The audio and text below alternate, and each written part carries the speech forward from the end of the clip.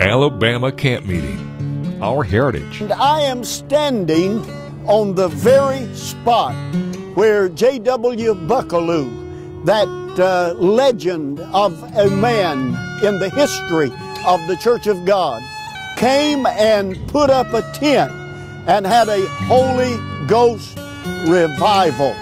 The move of God was so great that they came in and burned the tent where Brother Buckalew was conducting the revival. They put Brother Buckalew in jail. There is a building across the street that you see that uh, housed the jail in that day. The mayor let Brother Buckalew out of jail and he came back over to this site and he organized the Alabama City Church of God. This was in 1910 and it was the second Church of God in the state of Alabama. And as I stand here today, I have in the background the Cathedral of Praise Church of God. It has a tremendous history. This is the former Alabama City Church. It was located about two blocks from here and was there until 1990. And when they moved to this site, they changed the name to Cathedral of Praise.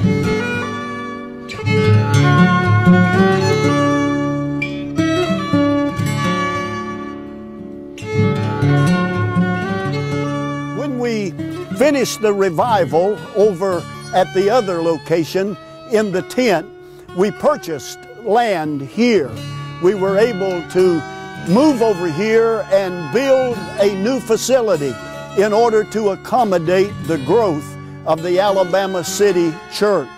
And on this location, we had several camp meetings, just as we're having here in Birmingham this year. In fact, the camp meeting started in about 1918 here. And camp meetings have always played a major role in everything that happens in our state.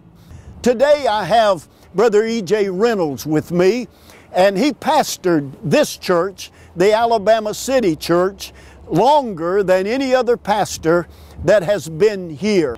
Thank you for joining me, Brother Reynolds, today.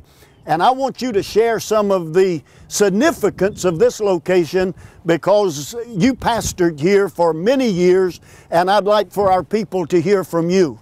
Yes, this church uh, on this location has had a dynamic ministry, and many prominent preachers of the Church of God have pastored here. And these buildings, uh, the various buildings that have been here, the first building, a white building that was uh, here, a weatherboarded building, and then following that building, Brother A.L. Burroughs did the uh, brick building that was built here. And this building, we remodeled it during the 12 years that I was privileged to be pastor here.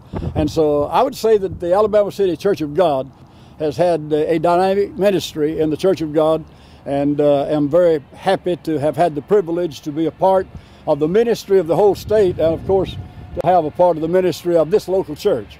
Well, we love you and appreciate what you have contributed at this site to the history of Alabama.